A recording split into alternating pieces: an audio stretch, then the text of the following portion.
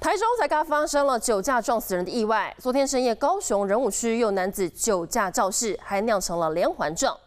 这一回是一个二十一岁的吴姓男子，他昨晚酒后开车，看到了警方在临检，他心虚加速逃逸。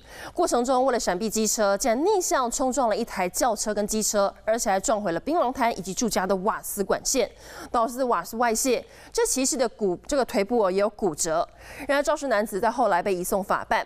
然而，其实高雄市警方他们从星期一就开始进行了大执法，针对酒驾有加强取缔，在第一天就开出了四十三张的罚单，这等于是不到十分钟就有一个人酒驾被抓，显见高雄人根本不怕。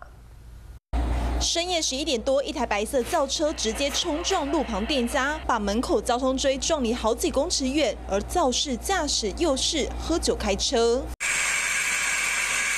事发现场有瓦斯管线遭到撞断，弥漫浓浓瓦斯味。消防人员不敢大意，布水线持续洒水降低浓度。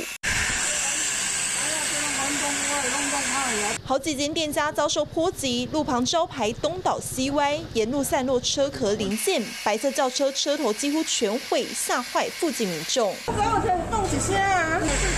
哦。比较弄来弄去，外来啊，哦，用死就对了。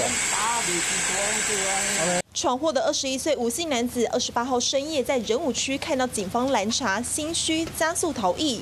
过程中为了闪避机车，先是逆向冲撞一辆轿车和一名骑士，再去撞上路旁的槟榔摊和店家，造成瓦斯外泄，骑士腿部骨折，店员也被波及而受伤。误自小客因酒驾心虚，发现我们的警主一直尾随在后，加速驶离，酒测值超过。标准值。高雄黄姓男子酒驾撞死一家四口妈妈的车祸才刚发生，警方立刻加强执法，首日就开出四十三张酒驾罚单。